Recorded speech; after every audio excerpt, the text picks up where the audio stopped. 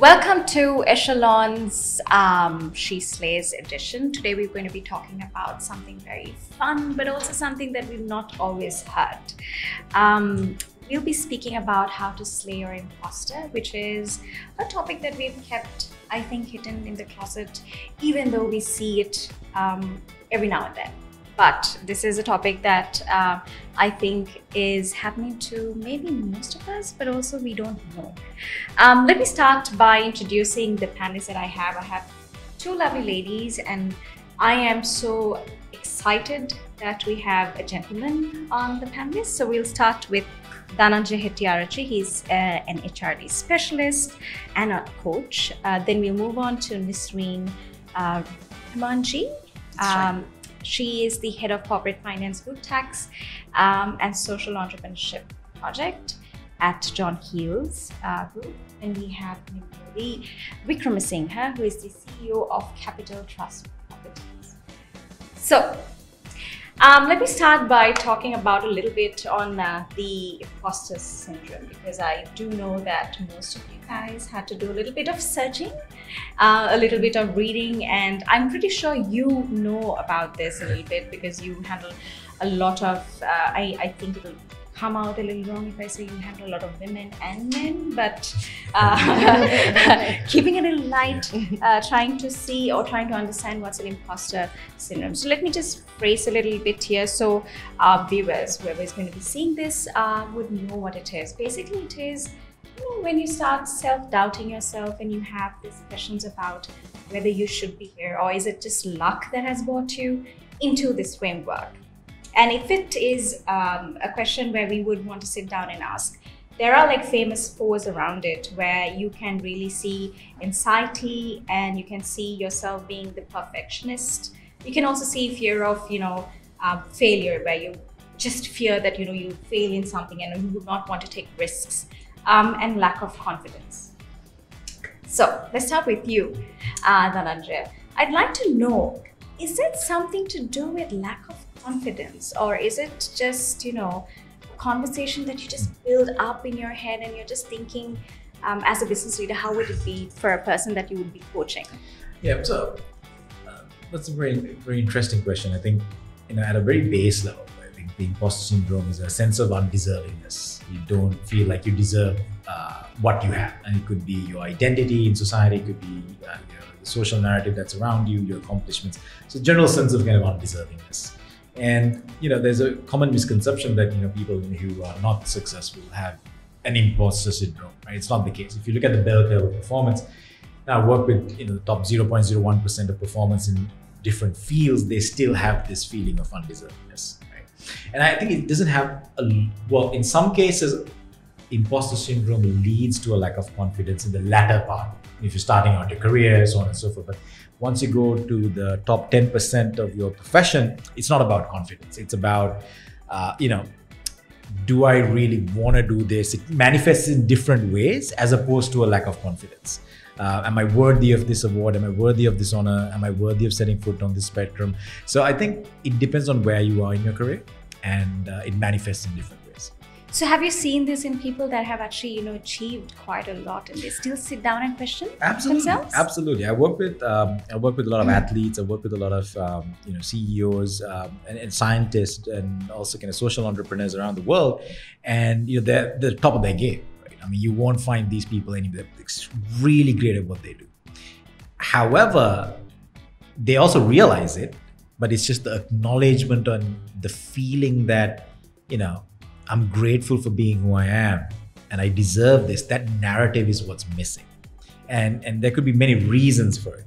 But you know, a constant theme that pops up in uh, the manifestation of this is that early childhood, you know, when they're growing up, they've been in an environment where they've had negatively reinforcing feedback, which later on manifests as uh, a narrative in your head saying you don't deserve. Yeah, because there is like when you really read through and you see um, there's like a lot of context behind it when you are abused or you're just told that in the terms of you know you're not great you're not doing enough or you start hearing those things. And i i, I significantly put that thing aside but yeah i'm, I'm happy that you brought it up. Nisreen uh, to you i mean how do you think women overthink, or do you think it's just a thing that I'm going to be coming back to Dananjaya because Sure. this is a very interesting question. I, I want want to ask him: Does he overthink? But to you, do you think women overthink uh, this, you know, term, or has it been a thing that you know you kind of overthink and you put this syndrome onto you? Um, in your views, I'd love to know your thoughts. Yeah, so, like I, I had mentioned to you, I, I hadn't really heard that term imposter syndrome too much in and around the people you know I associate with, including the you know um, men in and around what's successful as well. So I was just thinking to myself, do you do I do I think that? Do I introspect and think that you know I don't deserve? But to be honest, I don't think there has been ever a time when I have sat down and thought, you know, I don't deserve it because I know that I worked very hard for where I am. Um, uh, because it was a very intellectual kind of feel, and uh, maybe it helped. So, picking up something that Anjay said, my childhood, uh, the way my parents dealt with us, and it was um, uh, myself and my two brothers, was that it was never about getting being first, second, third in class or benchmarking against someone else. The only question they would ev- ever ask us, be it for, uh, in relation to sports or academics, was did you do the best you could do? If you've done that, that's it right? So my my father or mother would never worry too much about whether we were first second third in class. They didn't care. Actually they didn't care. And i'm not just saying that for the sake of saying it. So that gave us a lot of confidence as we were growing up not to question ourselves too much other than putting a very high benchmark for ourselves. So we set our benchmark. It was not about measuring myself against someone else or whatever. So in that context as i went up the rung and you know achieved whatever successes i have it was because I worked towards it. So there was never a question. Yes, there were times when you were in the right place at the right time and things came your way, right? And also there were times when, you know, you you wanted something but it was not the right time or you were in the wrong place. That could happen as well. But it was never where I questioned myself saying I was not capable or it was because something lacking in me that I didn't get it. So I, honestly, I've, I've not encountered it in my context. And thinking of the other ladies that I worked with, maybe because we are more technocrats, I don't know. Um, but I don't think any of them, if I ask them the question, would think, you know, I don't deserve where I am. Most probably they might actually say that I should have gotten here faster rather than not deserving it. So it's slightly different perspective to. That's fantastic to actually hear. Moving to you, Minoli, being in a real estate um, industry and which is a male dominant industry as we know, how is your self-doubting thoughts like I, i've had this chat with you and i would like to so that we would also get to know a little bit more because it's fantastic to see this perspective and then uh, Dananjaya's perspective over it and we'd like to hear yours So just to uh, of how I started off. Um, so uh, actually in 2010, uh, our Capital Trust was a, a primarily a stockbroking company. So uh, I actually started the real estate arm in 2010 with one employee, and we started the transactional arm. By then, no one knew the word uh, JLL or what they did or any global agents by then. So this was uh, something, uh, you know, I had a passion for, and I, uh, you know, went for that, right? Uh, along the way, uh, I felt that since it was so male oriented, it was not regulated. There was like a lot of, uh, you know, you know, there were things that were happening. Uh, you know, certain transactions were not going because it was getting bypassed. You know, since it's not regu- regulated, so that actually was uh, sort of you start doubting: Are you in the correct industry? Right. So I think that is, I don't know if that is called this, uh, you know, the syndrome that uh, you're calling it. But we have been where she you know you sit down and you think about it and Yeah. also you know when you have baby steps in your journey and you don't really see it then but then when you've come to a certain point you start looking back and then And I think I was in all male dominated fields because I started off much before that at the shipping industry, where I was one of the, uh, uh, I mean, uh, at Maersk, where I was one of the primary employees there. So I started uh, in the financial field, right? So there it was 99% male oriented. So in real estate also it was male oriented. And I built that to a state where now we work with three global agents.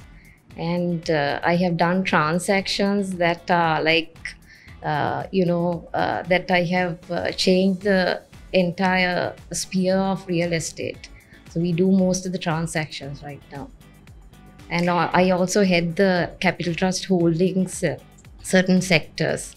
So now I do the expansion for the securities in terms of market expansion, stuff like that. Yeah. Um, getting back to you, then Dananjaya, like I said, I'd like to ask you this question. Do you think men are overthinkers in any way? I think if you have a certain amount of, uh, I mean, it really depends on the depth of how your introspection. and- Sweet is looking at you like dead straight.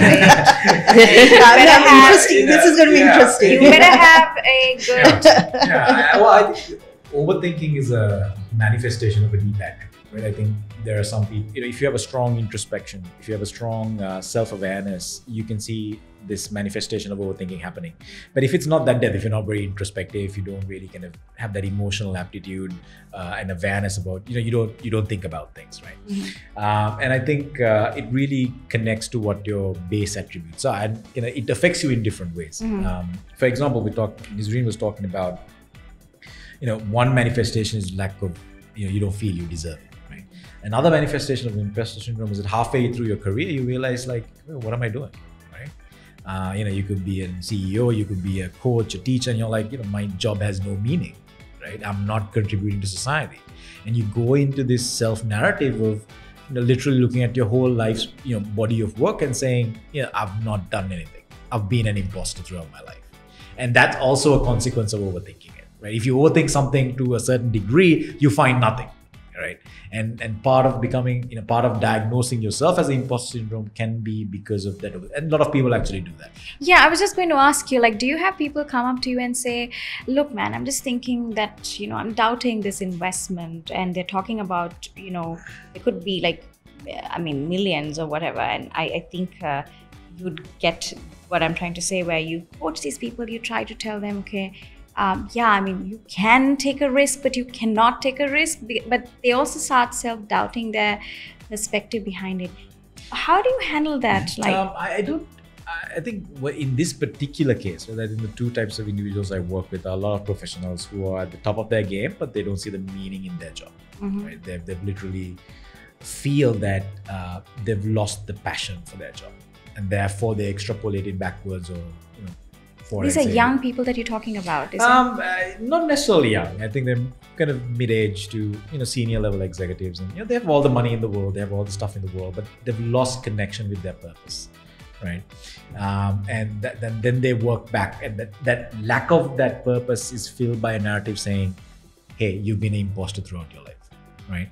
Uh, and the second group of people that I work with are people who are taking their career from local to global right? So you're ex- you're industry expert in your area your country and now you're going into a global audience. And now you it's not you doubt your doubt your skill. You doubt the fact whether you can create an outcome in a different environment right? Like so you, so for example if you're indian or maybe a pakistani or sri lanka or asian now you're going and speaking or trying to lead a company in netherlands or uh, in uh, germany right and you know you, we come from a era of being colonized right? And you have this mindset that you know white people are superior than brown people. Now suddenly you're like who am i to go and lead a group of white people in the middle of europe right? Have you Uh, ever felt that? who me? Yeah of course. I like i think when i when i uh, went from uh, I'm trying to narrow the walls down a little bit. yeah, yeah, from regional to when i started speaking in europe and in the us hmm I think the narrative was there predominant. Yeah, I was like, why would white people listen to me? And, and it's a myth you need to bust by doing it. right? So, and after a while, when you start getting feedback, and when you start, you know, one of the beauty beauty of trial and error is you realize everybody's fundamentally the same, irrespective of your skin color, right? So, if you so you get uh, get over that syndrome or get over that mindset by really not, not only taking the risk but getting the feedback at the end of the day. All right. Um, you, I mean, I would like to know your perspective behind it because I have uh, known people that have the imposter syndrome. It's very uh, interesting to see that, you know, you you very firmly say that no, I mean, I'm I'm in my shoes and I'm running, I'm taking the lead. I would like to know, do you appreciate your baby steps? You know, from the time that you've started your career, and now that you've grown to this person that is leading, um, you know, a group, a team, um, how do you feel? Do you actually sit down to think about your baby steps and actually appreciate um, the factor that you've actually come through that journey and also question? Actually, in my case, it was a huge leap at the beginning, and then the baby steps sort of came into play because I went from an accounts trainee to a director within six years at KPMG. So I was a director at 28. And uh, I was responsible for the tax compliances or tax planning for 50% of the listed companies in the country. So it, it came really fast. That is where I said that whilst I was capable, um, there was also luck involved. And I, this is not about me, you know, questioning myself, but I think it happened too fast.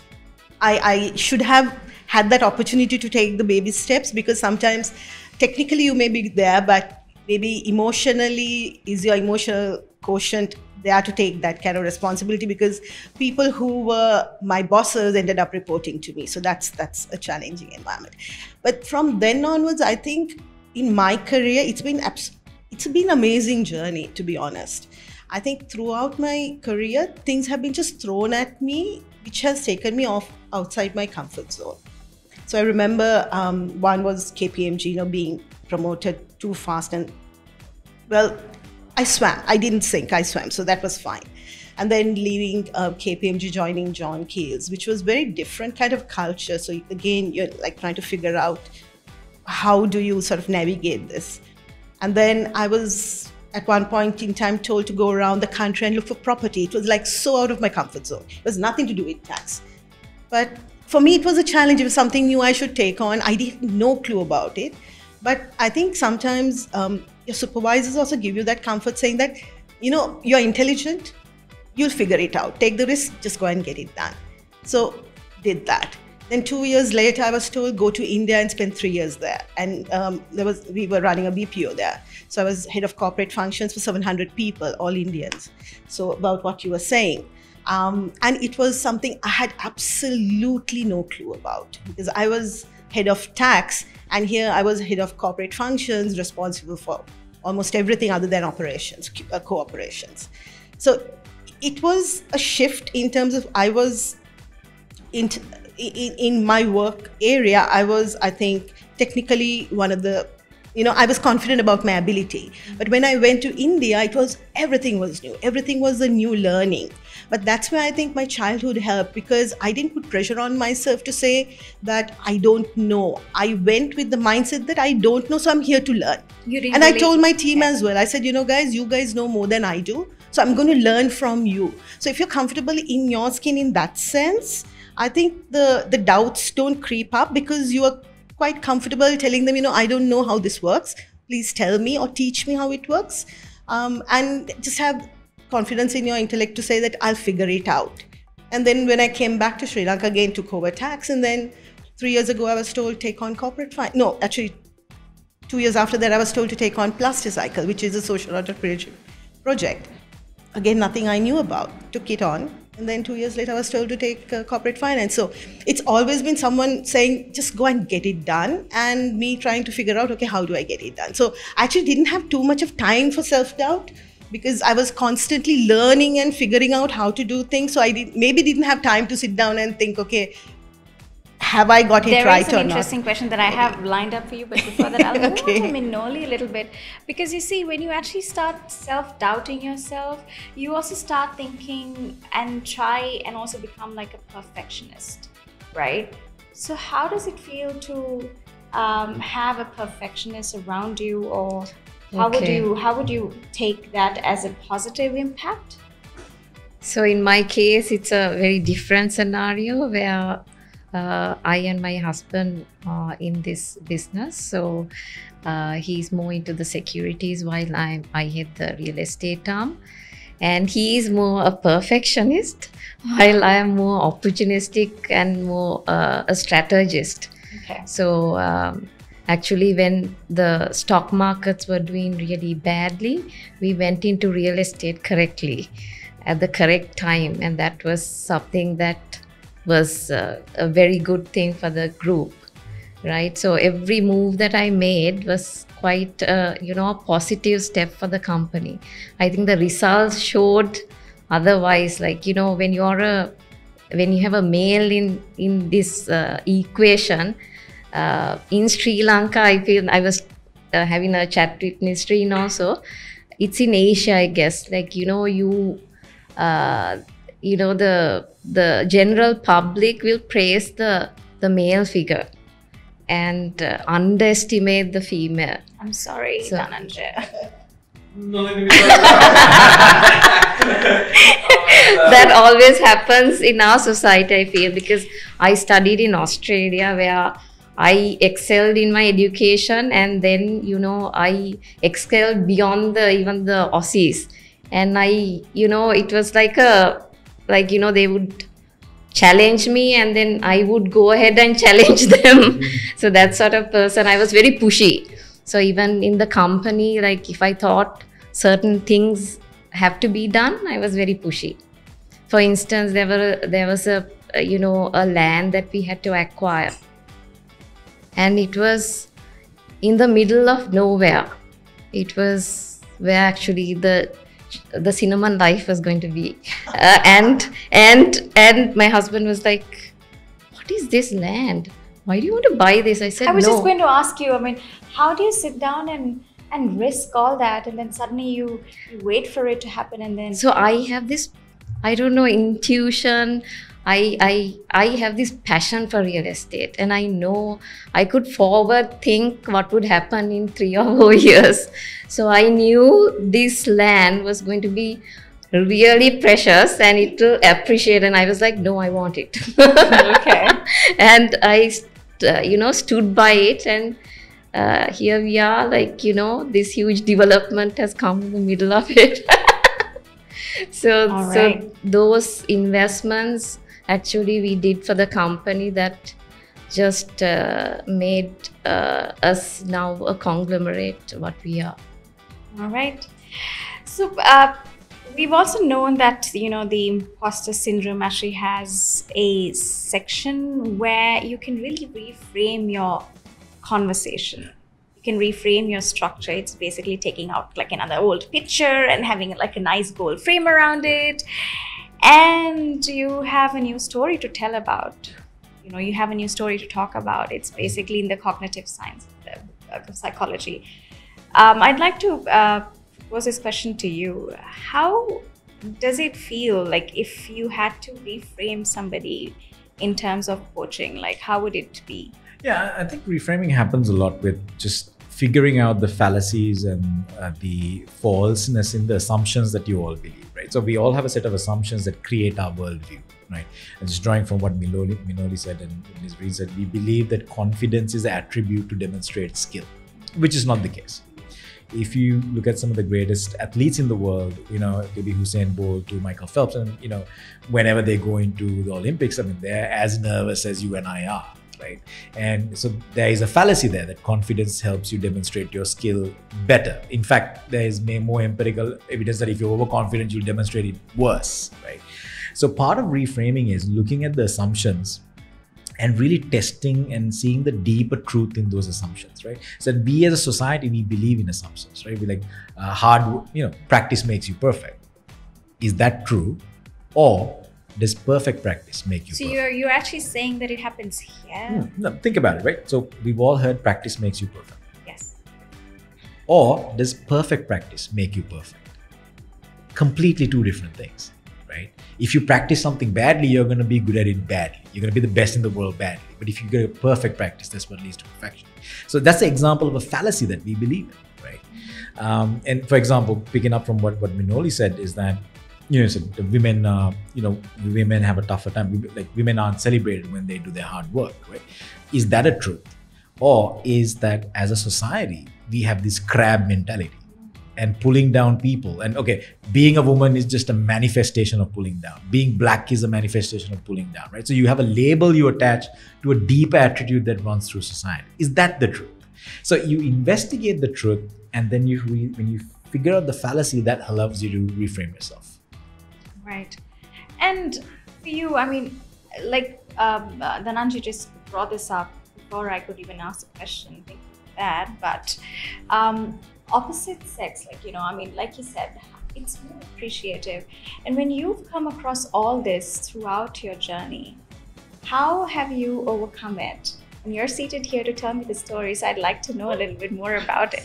so there was another instance I will tell you is that uh, we had this uh, huge uh, lease transaction that uh, we were going to do, and uh, a huge, I mean, another sort of a, a global agent bypassed us, right? After a lot of like months and months of due diligence that we did.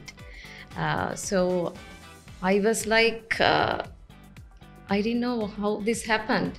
And I just asked my husband, uh, what shall I do? And he was just silent. He didn't know what, because this has happened over and over. And he was just silent on what what what what uh, what I should do. So I was like, uh, you know, I was I felt really hopeless. Where am I going to fall to? And I thought, no, I was so motivated that I had done everything professionally. I had acted ethically. Uh, I had done a lot of hard work, and I was not going to give it up for unethicality in any way. So I called India to the to my global agent as well as the multinational, and I said, "How did this happen?" I mean, I did the you know months and months of due diligence. We chose the the locations. How did this company just come and you know bypass us? And and and they understood, and they understood that they couldn't go without us and uh, you know and they and the landlords gave in uh, the my global agent supported and i forged ahead so I think, I think, that's, that's when overthinking yeah. works starts yes. to work because you're yes. like in it and you're like I and you're motivated you're motivated, motivated. I want to and I it. think women have that because because they have to mm-hmm. work extra hard to do that do you hear because, that? You know, do you hear that? Yeah, of course. I mean, I challenged, and and that global agent just told me, I mean, this has never been done before. You have done something that in India they used to bulldoze us. You know, this company bulldozers through, and wow. you've done something that is incredible. Fantastic. So, so those are the things that uh, I think really pulled you through. Nisreen, for you, like since your perspective on this topic is very different, I'd like to know if you see somebody in your team you've um, maybe it would happen now in the future. I most probably observe it better, I guess. Yes. Yeah. But how, would you s- let it be stagnant and uh, not, you know, tease the brain to see, you know, what it brings, or would you have a chat and say, okay, no, this is there is something like this and you're just being an imposter you know you suddenly come out of it or would you just you know ignore and not talk about it because you want to bring that aspect and just want them to be just like you see i think maybe we are overthinking it also like you know Dananjaya said so i think every all of us so I'm not saying that I haven't had self doubt, but I'm not putting a label on it and mm. creating a issue, like mm. making it a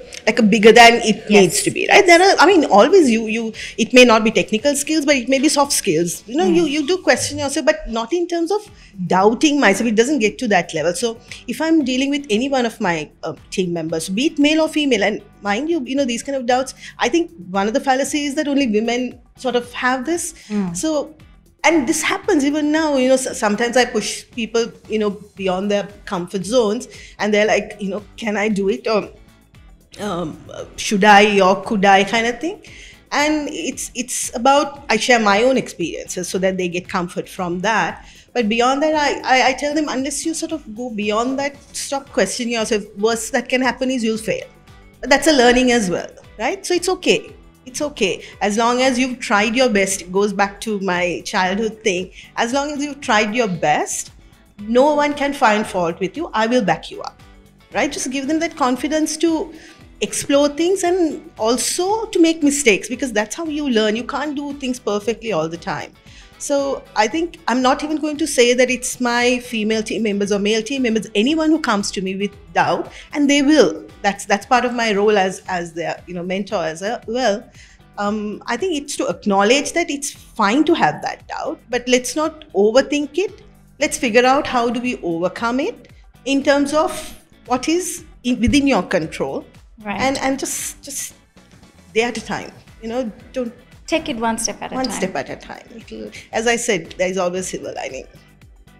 Nananja, to you, I mean, with uh, with what uh, Nisreen adds, I mean, there comes a question if you have a person that you have to coach, and this person comes to you and says, like I told you before, like you know, I've got this, and now I'm self doubting myself, but also I don't want to talk about it. And is that something that you like to think about on t- in terms of image building? And you know, is it like a healthy image building that you want to do and hush them up to say, you know, rather not talk about it? Um, well, you know, I'll, I'll kind of reclassify that bit. The, the kind of leaders that I work with, they know that there is a problem, right? Mhm. And I think, I think they acknowledge there's a broad acknowledgement of what the issue is. Mhm. The problem is they don't have a more constructive narrative to see themselves in in their current situation. So my my work really revolves around working with leaders to look at an alternate narrative to help them become better leaders and, and accomplish what they want to accomplish. And I go back to kind of bringing back to what uh, Minoli talked about is also kind of helping them see different truths. It's not that one is false and another is true, different truths. Now, you pointing back at what you told me, you looked at me and said we women work harder, right? Okay, it is true. But also, do male farmers in Ampara who kind of plow their land for 18 hours a day? That is also true. But women tea pluckers in Nuwara Eliya who pluck tea also work hard. That is also true. So there are multiple truths. But what we do is because we have a bias, we need to justify the situation we are in. We pick a truth that fits our narrative. Are we telling ourselves a story? That's right. We do tell ourselves a story Okay. and we conveniently pick the truth that aligns with our bias. Hmm. So a lot of my work revolves around helping people see other truths. This is true, but hey, here are a couple of other truths. And that's when you kind of reframe yourself. All right. So, I mean, that's exactly what I, I mean, you know, with a thick belt around you where you coach these people, it's an interesting question to ask you. Nisreen, walking back to you.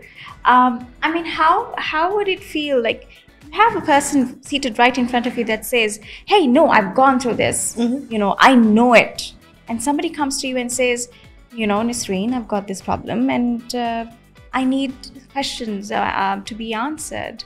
And you very beautifully said, you know, I just help them and tell them to take one step at a time.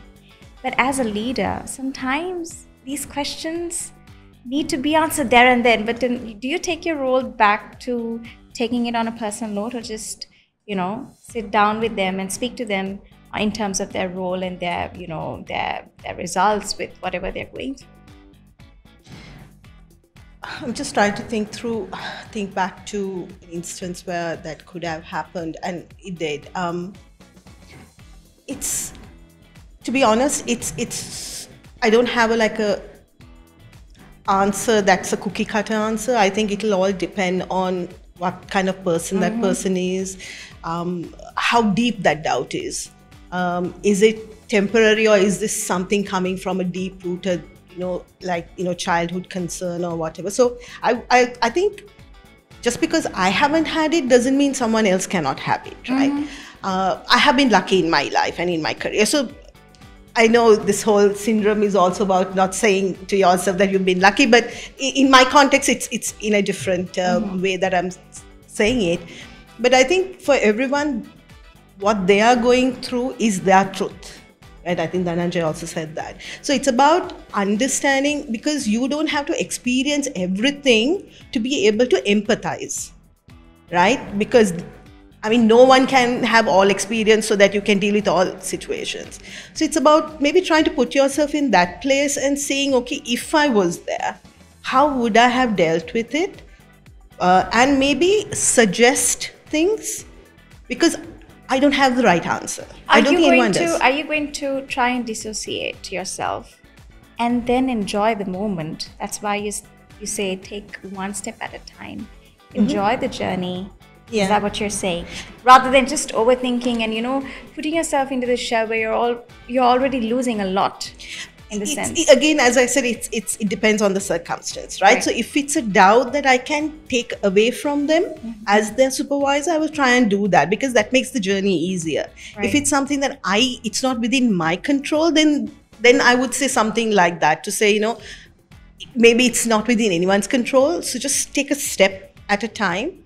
And there is always, if you work hard at something and if you truly believe that you have done your best, then you own it. Don't doubt it. Just own it, whatever the outcome is. It may not be perfect, it may not be what someone else expects of you, but set your own boundaries, set your own benchmarks, set your uh, uh, charter your own journey, right? If you do that, then the doubts will, I think, become lesser and lesser and lesser.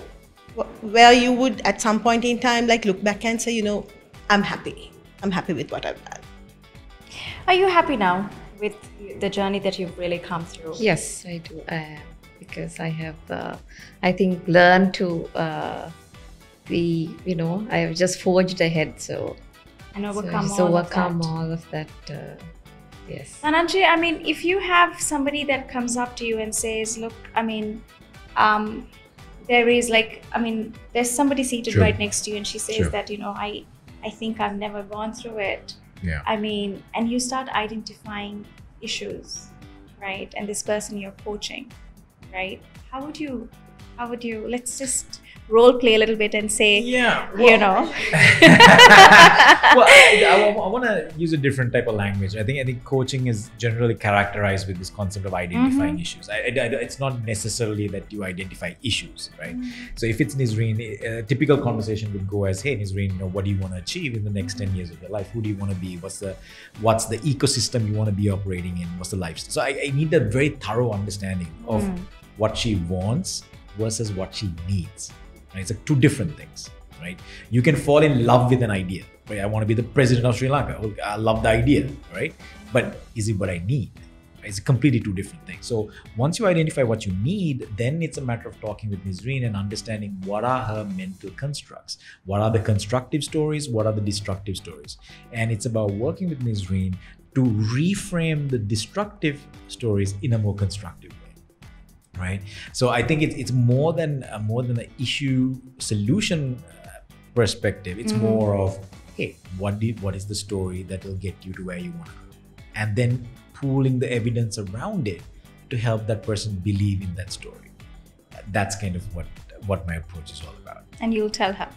You'll tell i her. wouldn't tell her it's something that she That's what I'm trying to get out Yeah, because so- so you that- that- can't that- tell a person. That's that's that's so that's the difference. There's a difference in see if you tell somebody something, then it doesn't become a truth.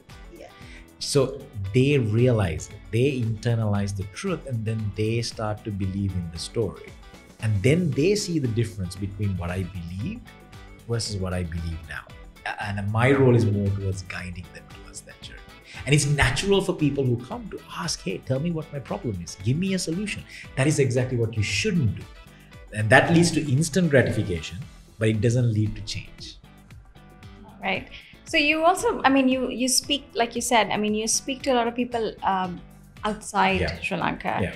and you also brought in the fact that you know we i think here Right. do this certain thing where we start you know talking about ourselves and tell ourselves a story self-doubt ourselves but what about the people outside sri lanka do they have the same conversations with you Nah, or It's, it's, it's the same thing. They, they, everybody has a story. Now, when I say Mm. story, it's not only a story of self doubt. There are people who have stories of incredible that are incredibly egotistic. They believe there's nothing wrong with them, right? And Oh, yet, sorry, I'm not worried now.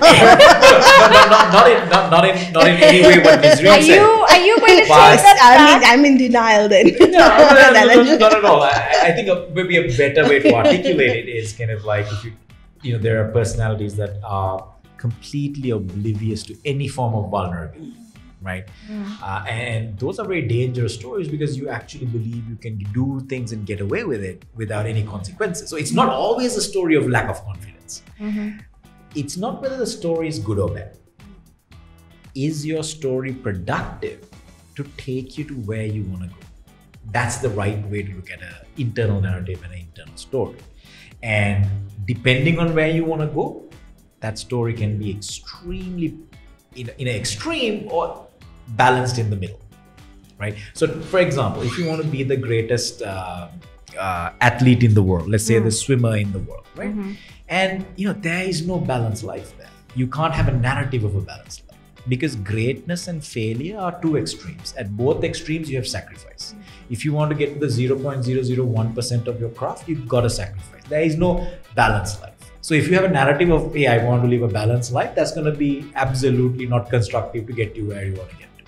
Conversely there might be somebody who who wants a balanced life but is overcompensating saying i need to work 24 hours a day to get there but that's not what that's what they want but what they need is a balanced life.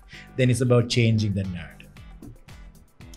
So, since it's about Women's Day, I would like to ask a question that's just out there. I mean, I, and everybody would also ask this question like, how is is anyone, you know, in your life, Nisreen, that has always inspired you, other than your mom or your siblings, anybody that always has been? Because I've got, I think I've got two, three uh, that I would not want to name, but Actually, it's not my okay. My mom is one person who has inspired me, but um my grandmother actually, she was from a village in India. So like I'm okay. second generation Indian. so she got married late in life. She was 23, and that was considered late in life. She left her country, came here, and she brought up nine children, right? She was not educated, she could not read. She made sure all nine children were educated, right? Um, they were not financially secure, but they never went hungry. And I remember her as a person who was always very calm, right? She she had this inner strength that you know it was amazing. I mean, I have never seen a person like that. And she they used to live in Kandy, and I think like in in our language um, you call mother ma, right? Everyone who knew her used to call her ma. Her children, her nephews, nieces, whoever it may be, would call her ma. And she had gone through tough times in life but she always would be smiling. She it, I, I don't know what it was about her but i think this positivity of hmm. always thinking things will work out. Maybe i've hmm. just seen her as i grew up. And she i don't think she ever dwelled on things that were not going well but always looked at what was The positive positive side of yeah. it. So i think it's a bit of that in me as well that i have seen. Um, and to be honest i mean i have met a lot of professional women. I have met a lot of successful women who made a lot of money who maybe have had very successful marriages whatever. But i think she stands out for me as someone i would aspire to be like. What about you, Dhananjay? role model wise would definitely be my mom yeah i i uh, i think def i mean not allowed to say I that. said other than your mom. I, I am completely comfortable being around uh, being around strong women. I come from a family of strong women and a very matriarchal uh, uh, family, right? As opposed to very patriarchal. I think uh, you know my wife is an entrepreneur. Um, you know she's uh, you know. Be- to say the wife also to balance. Absolutely. I mean, I mean, I mean and, and, a complete rest. She's an entrepreneur. She's, you know, the mother of my three kids. You know, she's a partner to me. And then I draw very similarity with my mom because my mom's an entrepreneur as well, right? Whereas, um, you know, all of the entrepreneurial spirit that I have, and I still wish I could be half what my mom is because, you know, really uh, my understanding of what, you know, strength is from the feminine perspective really came from my mom. You know, the male perspective was all, always there, right? From my school upbringing and so on. But then the real female flavor really came from my mom, you know, my wife, uh, you know, strong aunts and uh, you know around. So really comfortable being with strong women. So sometimes when I the the flip side of it is sometimes when women come and say, "Look, I'm having a tough time in a male-dominated world," I can't relate to it Okay. because I come from a family Right. of strong women, and I they never had any problem managing You're situations. like, okay, what? what is, how, does, yeah, how does that feel? I, I, do have that. How does that feel? What about you, Minoli? So I'll have to say the same. It's actually my To see, like, okay. because they actually taught me the right values and uh, you know i think that from the from a very young childhood they used to tell you know uh, you have to know racism you know all those correct values are very important i think towards what you build up to be I'm, I'm gonna completely. um, There are exceptions, but I'm gonna generalize this. Right? I think one of the permeating qualities of strong women, right, is this endurance. Right, my, like my mom is 76 and she's you know still at it. Yes. You know, whereas you know, whereas she has so much of energy yeah, right. she Uh, would you know look after my um, children the second part of this is kind of whereas men after a certain age they kind of like kind of Yeah. wind down they're like they're like oh, i'm done you know like okay, this is where's the cigar where's the and they're like completely gonna retire they go into that den right and and that's kind of that I'm when I- really hoping the dads don't see this today. no, but I said I, I, I stayed away from my parents because that was your brief. So I, I need to acknowledge this one thing. I Okay. think one thing my parents did really well, and I think because of that, I respect them a Mhm. lot, is that from a very early age, and this was like half a century ago, I'm 50 now, right? So um, during that whole period, they never, irrespective of what was happening around, my brothers and I were always treated alike, right? So there was ne- this gender equality never even hit me until like uh, people started talking about it. So I never thought of myself in the context of being female, right? I was just me, right? Um, that was one. And the second, like I said earlier, is about never benchmarking me against in, or any of us against someone else, right? So it was never about being the best amongst this. It's about being the best you can be Can be. right? So that took actually a lot of pressure off us and also conversely put a lot of pressure on us because you couldn't fudge anymore. Right? Because Right. you the only question you're going to be asked is did you do the best you could? And if you haven't, then that's on you. Right? So um so I think it's we've had good people around us. I think the bottom line is And also that. kind bring in the last part of it is you said, it's on you, right? I think just, and I do this with my kids, it's like, you know, f- failing is okay. Yeah. It's Like, okay. There is a difference between failing and becoming a failure. I, I Yeah. think that's you the whole, learn from Yes. Yeah. what you you, go. you know so I think that's the whole.